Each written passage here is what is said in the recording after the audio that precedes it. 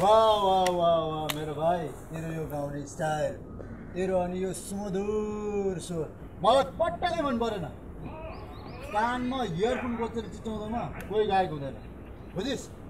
अब आउने नेपाली आइडलमा त हन्ड्रेड पर्सेन्ट पक्का छनौट हुँदैनस्।